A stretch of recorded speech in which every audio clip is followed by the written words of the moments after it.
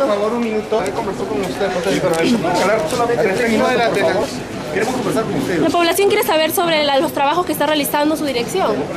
Directora, directora, ¿nos puedes atender, por favor, tres minutos nada más, directora? Directora, disculpe, ¿a quién le tiene miedo? Directora, ¿tiene miedo a algo a responder? ¿No puede declararnos? O es que... Directora, directora, es ¿Le han prohibido que declare a la prensa, directora? Que trabaja en NASCO, ¿O trabaja tiene en? ¿A qué le tiene miedo? ¿O sabe usted en su conciencia que es verdad todo lo que se está diciendo? Hay corrupción. Hay documentos.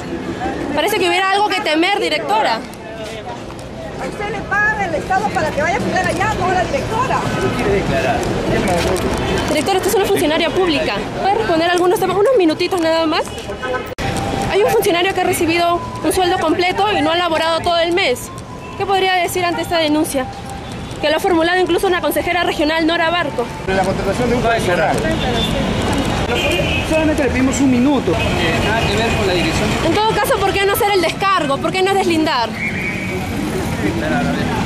Porque el que cae otorga, directora. Está diciendo es verdad.